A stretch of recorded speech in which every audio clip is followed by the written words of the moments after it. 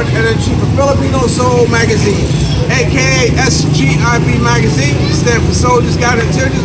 Believe that, because everyone should be soldiers with something. A dream, a goal, an idea, a train of thought, something. And on the PBG's production, the stand for Photos by Gerard, the best in freelance publicity photography.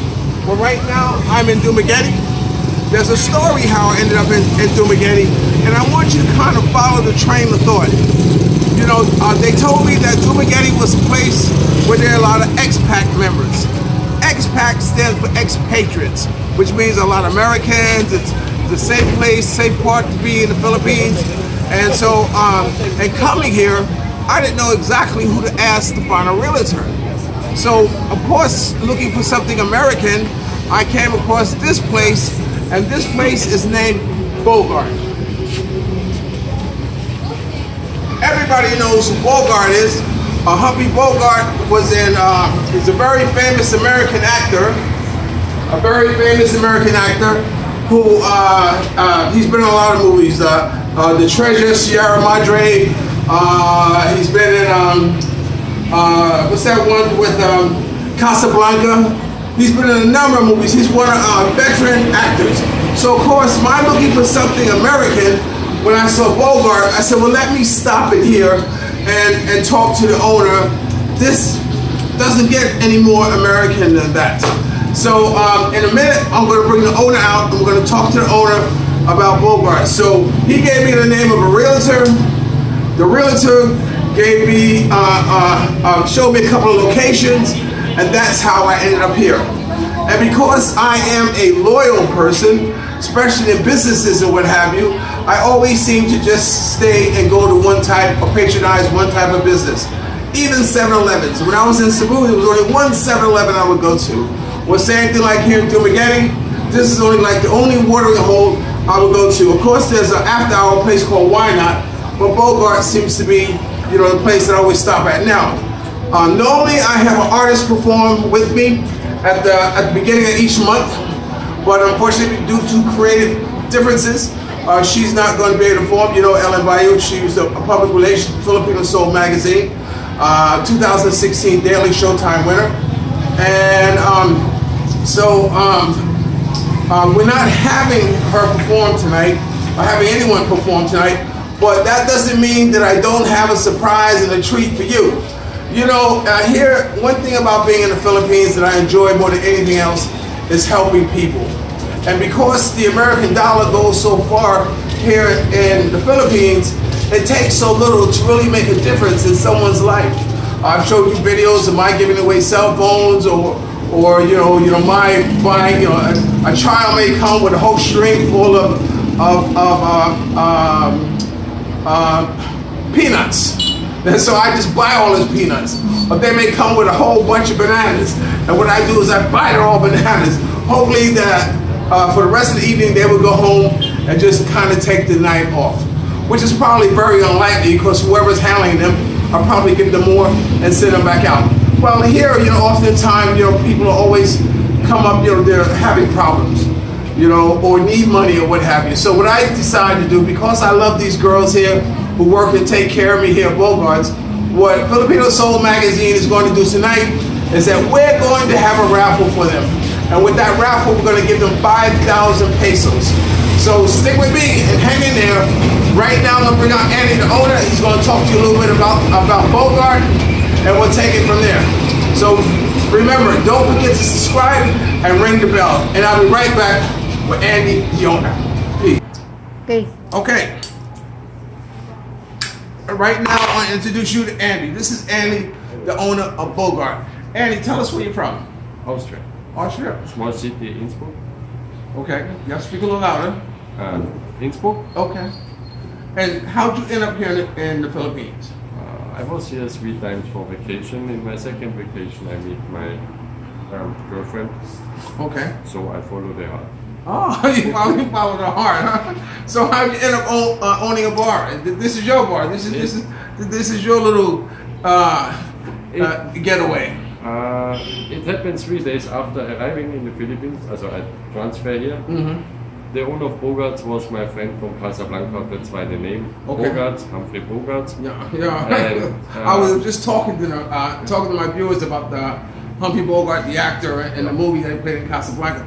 He's speaking of another restaurant called Casablanca, which is on the next block. So go ahead. Correct. And uh, he and the other Austrian, he was doing this bar, and um, they were not interested anymore. Right. So I bought it. Okay, okay. Well, tell us what Casablanca is. Uh, I mean, tell us, you know, what type. You have a lot of foreigners come here, a lot of Americans come here. It's an expat bar. Um, An expatriate. I explained to you what an expatriate was. Ahead. expats, expat, Uh, expat. ex expats. Yeah, expat. Expat stands for expatriate. Okay. Yeah, yeah. So, All right. Uh, and it's not only American. It's many Swiss people, Yeah. German, some Austrians, many Scandinavians are also here. Mostly retired people. okay, okay. Um, since you're married to a Filipina, I And can. not married, not married. Oh, you're not married? Sorry, sorry. since, you, since you have a Filipino girlfriend, uh, could you describe the difference between a Filipino girl and say a girl from where you're from in Austria, or is there a difference? Uh, the biggest difference is that in Europe, most girls want to be same the men. So, and here the women are, let's say, a little bit below. So they listen more to us. Yeah, okay. And in Europe, most many girls are high nose and they are only running behind high salaries and it's easier here. Everything, not only with the girls, also.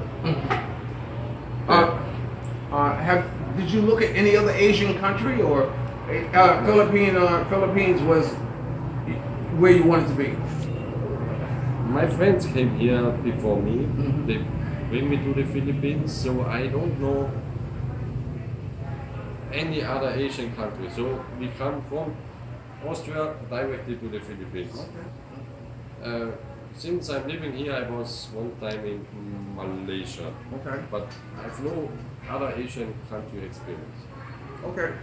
Um, what what experience or what type of qualifications does an individual has to have owning a business in the Philippines or owning a bar business? I mean, you know, I know you just didn't wake up one day and say I'm going to run a bar. You know, you know what, you know what, what's your background? What's your educational background?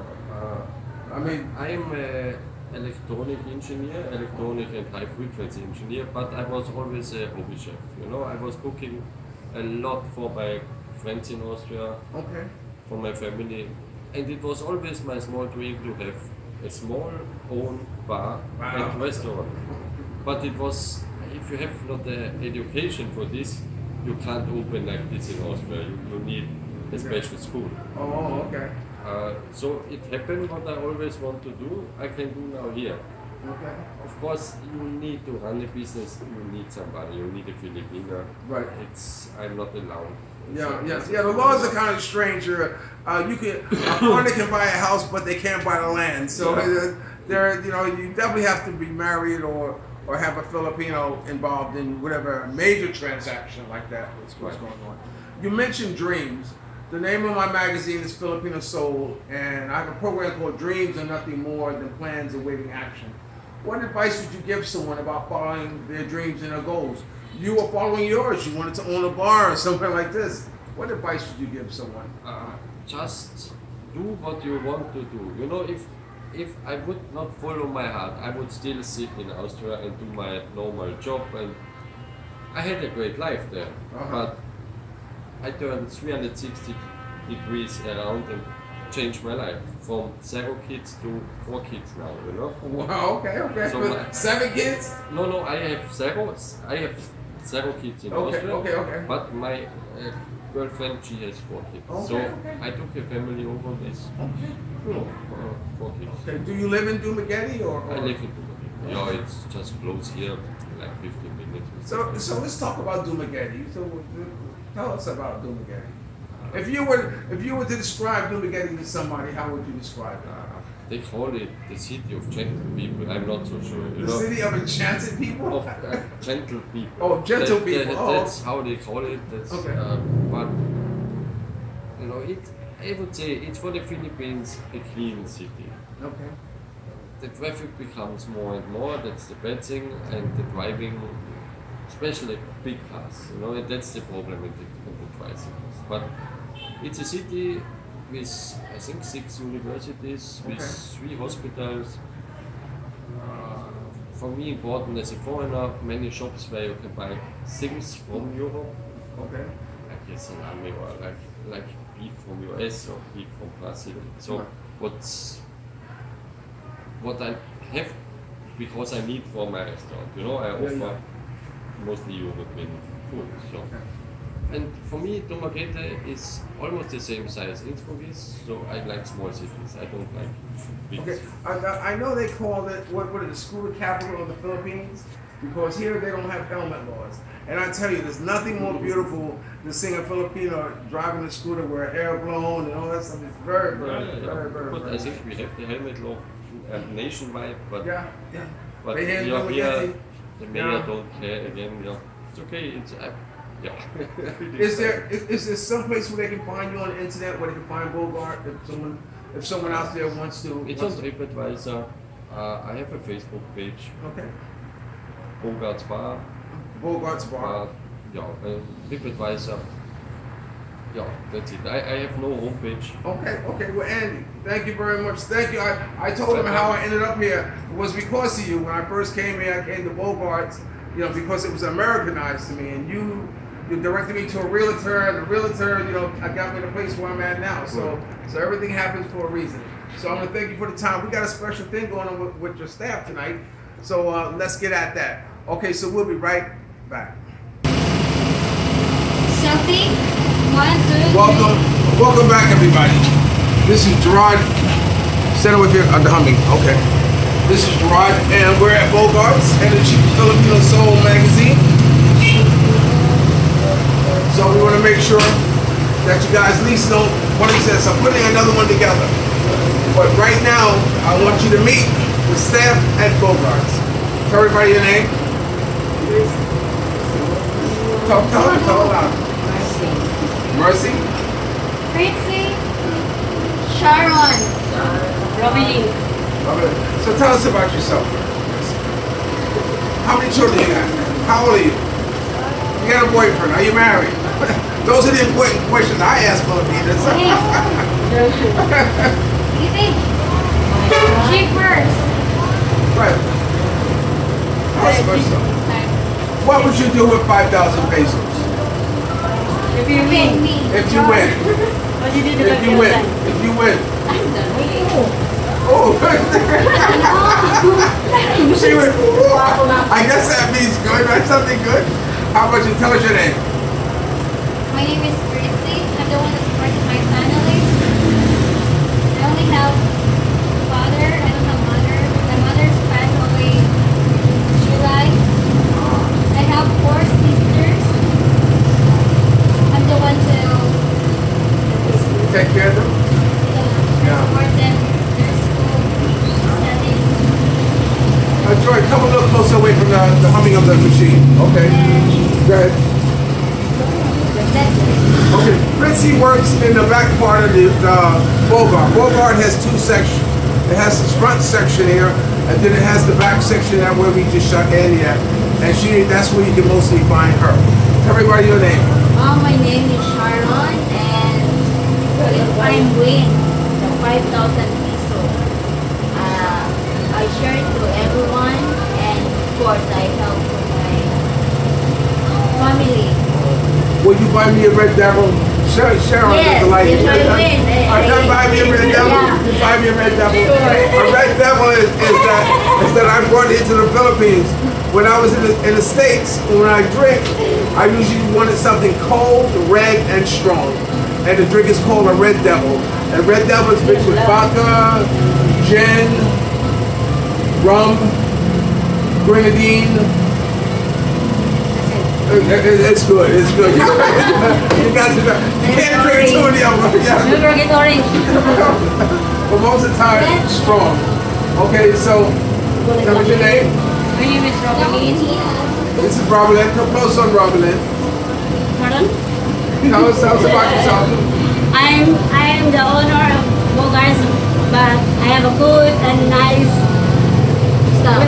staff here. And then I think I'm lucky that I'm included for the raffle of 5,000.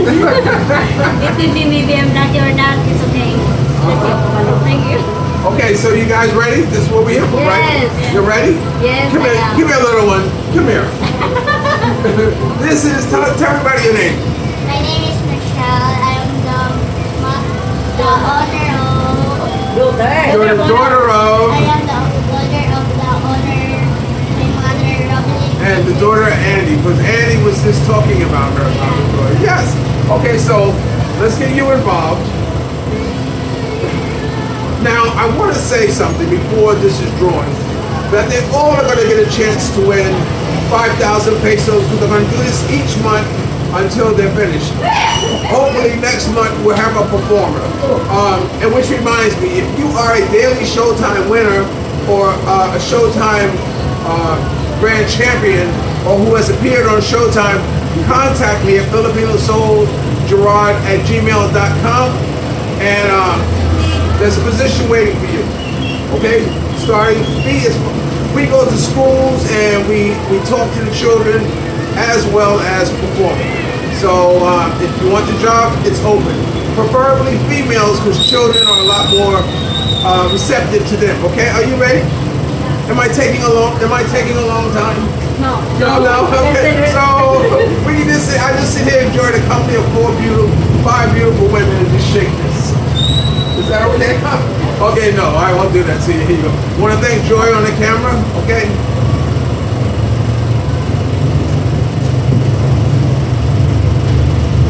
Cheryl. DP is not here. Drill. It's not here, drill. Her name was supposed to be in there. See? Okay, well, we we thought that everybody's name is in here. So wait, are there four names in here? There's only three. Wait, it. We'll be right back. Pause it. Okay, Murphy's Law, what can go wrong will. But before they pick a, a name, remember, dreams are nothing more than plans awaiting action. Never disrespect the elderly and always pull someone up. And sometimes, sometimes, you're the only one to see your vision. And the best revenge in life is to live good. Are we living good today? Yeah, we'll live better with 5,000 pesos. Right? if you haven't got a dream, a goal, an idea, a train of thought, don't worry about it. Do what I used to do. Get as much as you can, as fast as you can, and go home. And if you're lucky enough to have a woman like Hollywood formerly singing up the temptation, what's up? Treat her like a lady. Marcy, come here. You ready? Say. And then it's about a I need to come here. Okay, okay. Blow on it. No. Oy, Blow, no. blow on it. Liyo pa ko, no. Listen, bro. Liyo pa. Liyo pa. Oy. Liyo. next time. hey, hey, you blow for your mama. Okay, okay. Where, where is she? Okay, so shall we pick it? Yeah, begin. So she's over there. Yeah, begin. She- okay, she has to work. Okay, here we go. About 5,000 pesos. Who is going to win? Fritzy. Wow. Ah, see, you know where to blow. Wow. Richie gets 5,000 pesos. Wow, Britney. And you know what? She's the one who said that she has four, four sisters. Her father, who who just passed away. Mother. Her mom just passed away. So you see how God works. And she's the one got it. Oh my God. Uh, okay. Okay. Come here. Let me see. Give me a hug. Good. Okay. Thank you, Cheryl. Okay. Right. Bye. And uh, don't forget, next month we get to do it all again.